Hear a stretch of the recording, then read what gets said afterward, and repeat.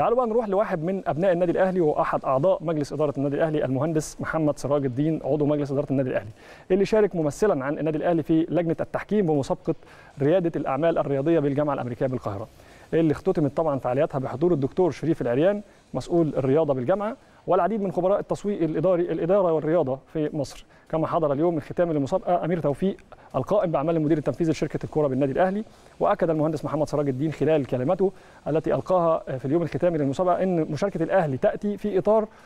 قناعات مجلس إدارة النادي الأهلي برئاسة الكابتن محمود الخطيب بأهمية التعليم ودوره المؤثر في تطوير الرياضة ومتابعة كافة المشروعات التي تم تنفيذها بالأفكار الجديدة.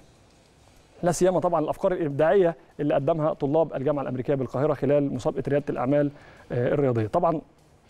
الجزء بتاع التعليم والشراكة بين النادي الأهلي والجامعة الأمريكية والمسؤول عنه طبعا المهندس محمد سراج الدكتور محمد سراج كمان يعني اللي دايما بيبقى ليه تواجد ممثل عن النادي الأهلي في أحداث كتير جدا سواء جوه مصر أو بره مصر. فبنشيل بدوره وطبعا دبلومة الفيفا ودبلومات الإدارة الرياضية وكل الكلام ده شيء مهم دلوقتي.